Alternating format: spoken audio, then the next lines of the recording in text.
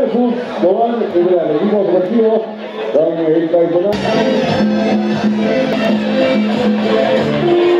Entonces, al fútbol de Liga Nacional, nuevamente.